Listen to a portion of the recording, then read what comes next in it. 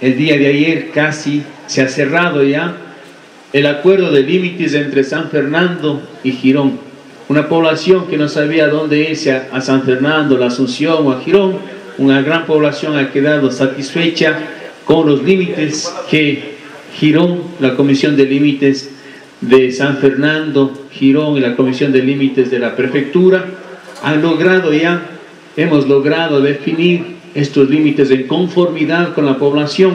y ayer en la socialización en el barrio Santo Cristo se presentó ya esta propuesta definitiva. Se espera que en los próximos días con el señor prefecto se logre ya firmar ese